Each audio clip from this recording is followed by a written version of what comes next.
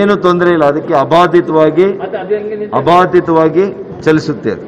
ಸಂಚಾರ ಮಾಡುತ್ತೆ.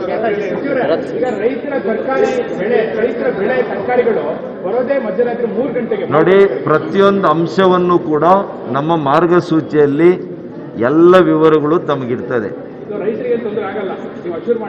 ರೈತರಿಗೆ ಯಾವತ್ತೂ ತೊಂದರೆ ಆಗಿಲ್ಲ ನಮ್ಮ ಸರ್ಕಾರದಿಂದ ಆಗಲಿ ಕೋವಿಡ್ನಿಂದ ಆಗಲಿ ಪ್ರಾರಂಭದಿಂದ ಕೂಡ ಅವರ ರೈತರ ಎಲ್ಲ ಚಟುವಟಿಕೆಗಳಿಗೂ ಕೂಡ ಅನುವು ಮಾಡಿಕೊಟ್ಟಿದೆ ಸರ್ಕಾರ.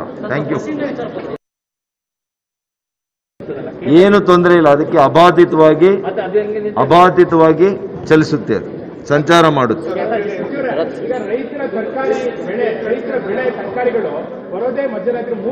ನೋಡಿ, ಪ್ರತಿಯೊಂದು ಅಂಶವನ್ನು ಕೂಡ ನಮ್ಮ ಮಾರ್ಗಸೂಚಿಯಲ್ಲಿ ಎಲ್ಲ ವಿವರಗಳು ತಮಗಿರ್ತದೆ. ಇದು ರೈತರಿಗೆ ತೊಂದರೆ ಆಗಲ್ಲ.